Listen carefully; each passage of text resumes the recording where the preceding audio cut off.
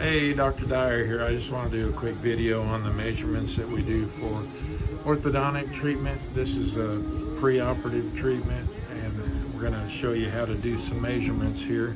Okay, so the uh, I'm going to go over uh, deviation or mandibular jaw deviation. So you go above the patient and then have them open and you kind of keep an eye on the jaw and see which way it goes from center.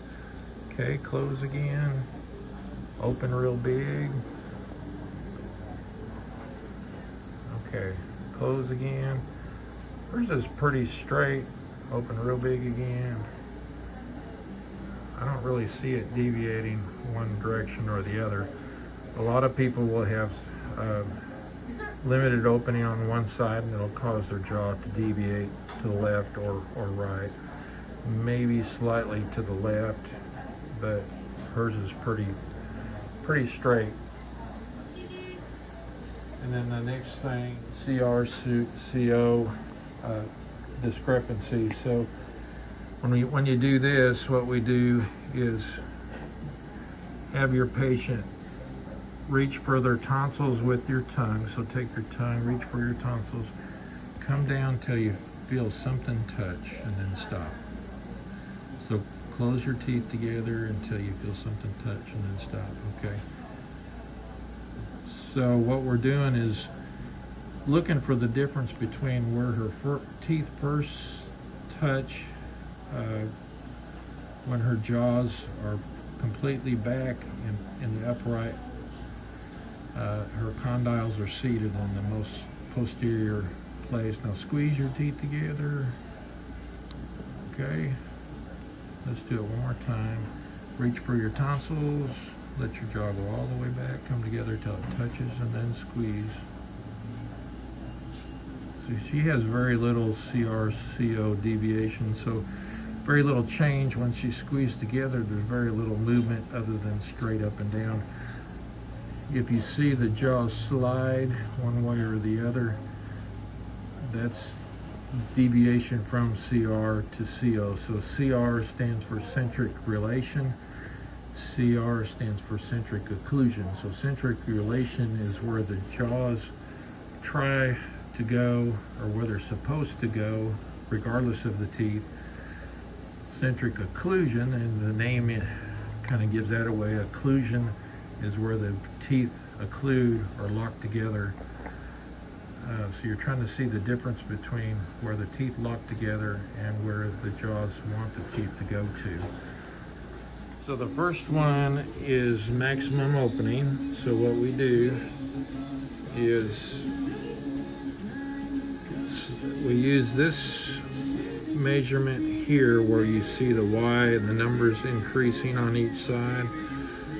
So this, if you can't read this, this says TMJ. You can buy these online, but it's a triangle that has three different measuring sides to it. So the first one we do is maximum opening, so we have them open as wide as they can, and we try to line up the marks the same top and bottom, so you kind of twist it like this. So the it looks like we're at, it stops about right here. So that would be 47 millimeters. So the next measurement is right jaw movement. So you can see there's a zero here in the middle.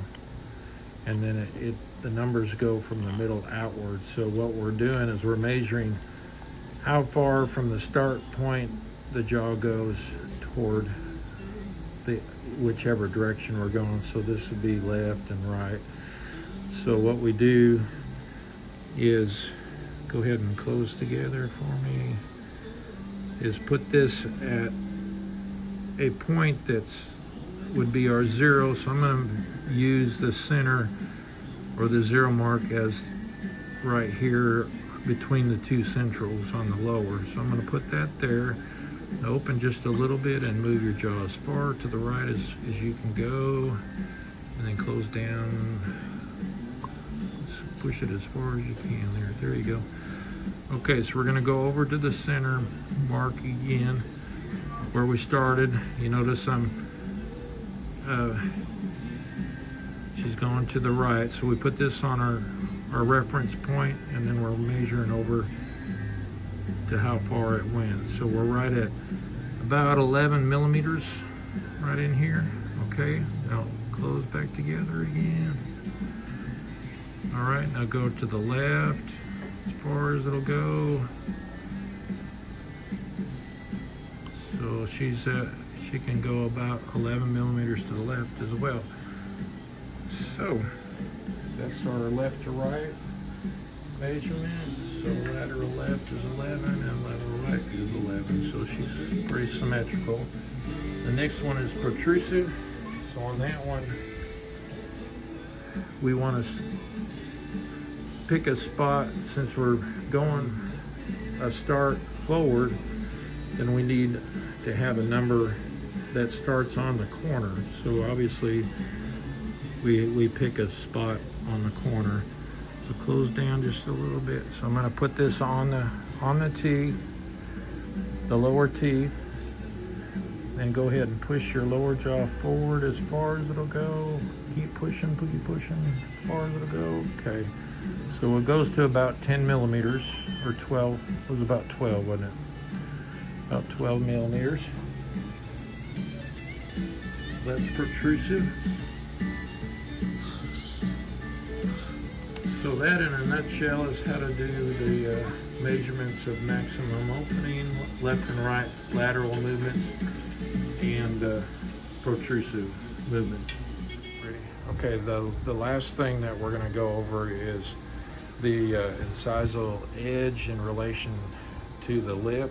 So the first thing is uh, the incisor edge to lip resting position. So all you have to do is have your patient open and relax your lip. Just let it relax.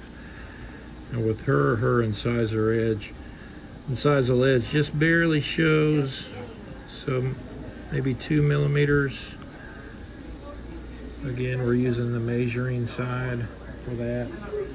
And then, uh, and then we do the smile. So go ahead and you can close your mouth and just do a natural smile. I'll help you with this side. so you want to see how much of our incisor.